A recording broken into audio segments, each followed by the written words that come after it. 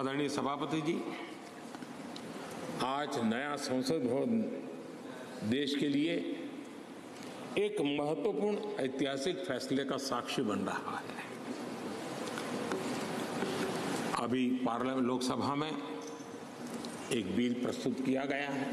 वहाँ पर चर्चा होने के बाद यहाँ भी आएगा। नारी शक्ति के सशक्तिकरण की दिशा में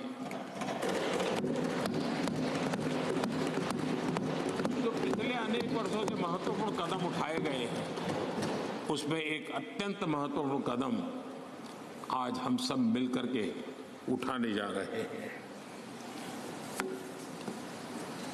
सरकार का प्रयास रहा ईज ऑफ़ लिविंग का क्वालिटी ऑफ़ लाइफ का। और जब ease of living quality of life की बात करते हैं तो उसकी पहली हकदार हमारी बहनें होती है, हमारी नारी होती है। क्योंकि उसी को सब चीज़ें झेलनी और इसलिए हमारी प्रयास रहा है और राष्ट्र निर्माण की उनकी भूमिका बढ़े, ये भी हमारी उतनी ही जिम्मेवारी है।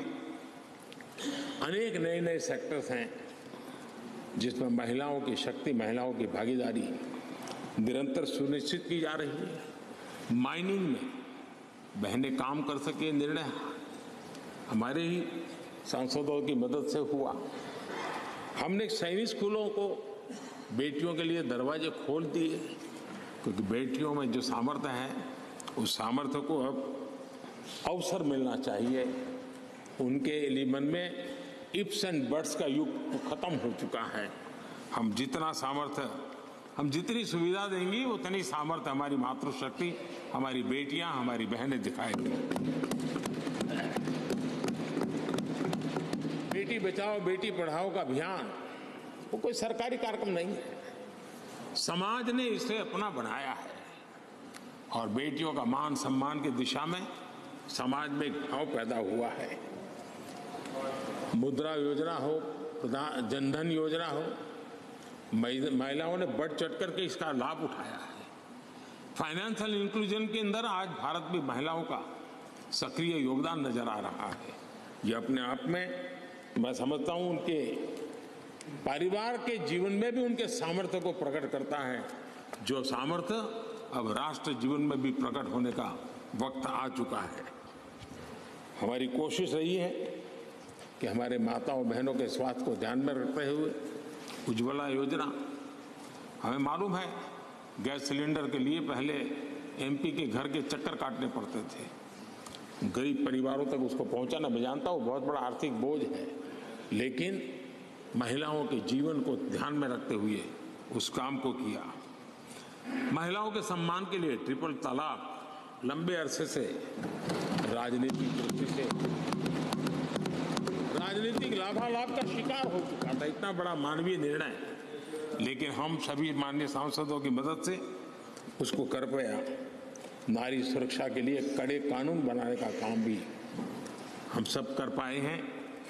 Women led development G twenty की सबसे बड़ी चर्चा का विषय रहा। और दुनिया के कई देश हैं, जिनके लिए विमेन लेड डेवलपमेंट विषय थोड़ा सा नया सा अनुभव होता था। और जब उनकी चर्चा में सुर आते थे, कुछ अलग सी सुर सुनने को मिलते थे।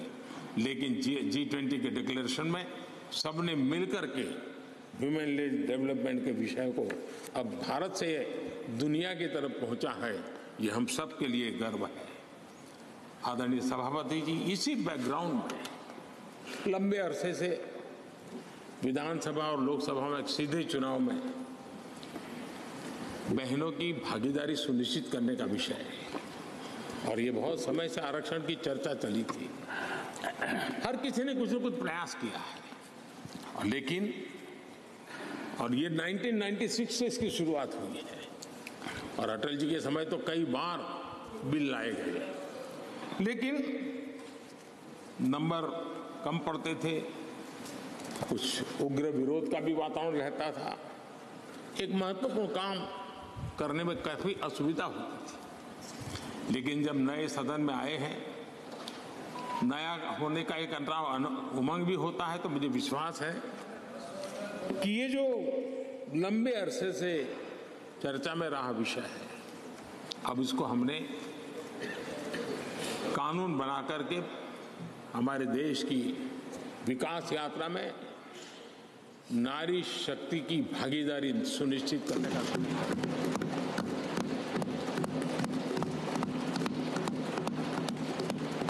और इसलिए नारी शक्ति बंधन अधिनियम नारी शक्ति बंधन अधिनियम संविधान संशोधन के रूप में लाने का सरकार का विचार है, जिसको आज लोकसभा में रखा गया है। कल लोकसभा में इसकी चर्चा होगी। और इसके बाद राज्यसभा में भी आएगा। मैं आज आप सबसे प्रार्थना करता हूँ कि एक ऐसा विषय है, जिसको अगर हम सर्वसम्मति से आगे बढ़ाएँगे तो सांच अर्थ में वो शक्ति अनेक गुना बढ़ जाएगी।